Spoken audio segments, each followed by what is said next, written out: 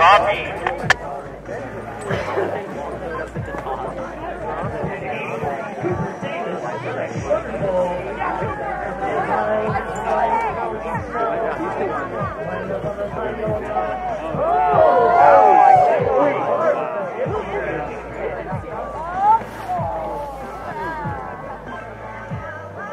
good turns, 20 points of six of the venue.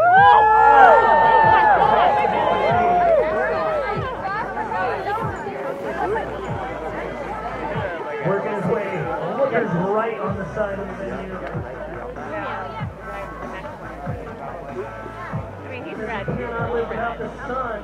They're totally So he's in the shade right now. He sure is shining. What's he gonna do for the judges? This is his announcer. All right.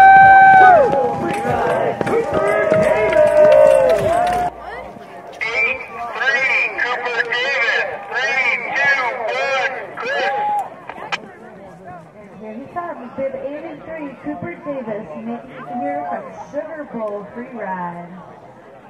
And he is skiing down through the midsection of Pipeline with a nice 360, left side 360, just a little hip check there, but keeping himself moving down the mountain fall line and coming down toward Big Tree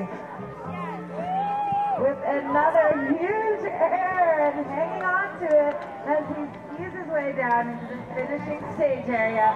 Skiing through Enchanted Forest.